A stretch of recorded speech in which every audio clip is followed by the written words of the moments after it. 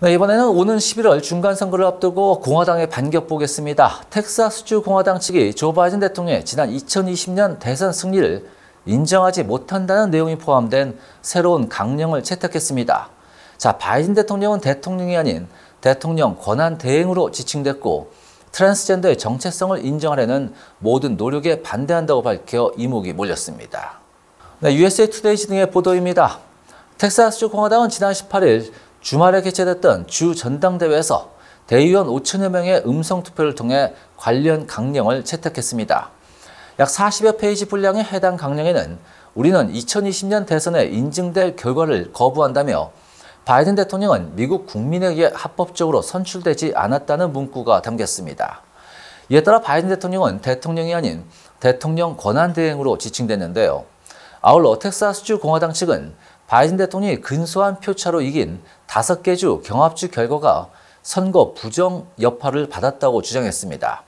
심지어 민주당원이 2022년 또는 2024년에 선거를 조작하는 것을 거부한다고 밝히기도 했는데요.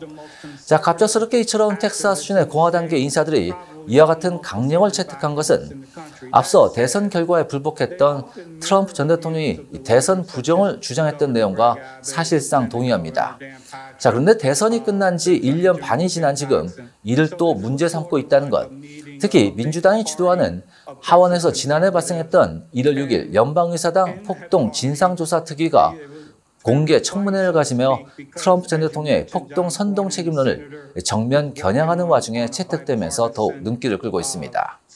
한편 공화당계 대의원 5천 명이 채택한 이번 강령에는 바이든 대통령의 대선 승리를 인정하지 않는 내용 외에도 동성애와 관련된 내용도 포함됐습니다. 이번 강령에는 동성애는 비정상적 생활 방식을 선택한 것이라며 그 누구에게도 성소수자 인지를 기반으로 한 특별한 법적 지위를 부여해서는 안 된다고 주장했습니다. 이어 트랜스젠더의 정체성을 인정하려는 모든 노력에 반대한다고 공화당 당원들은 전했습니다.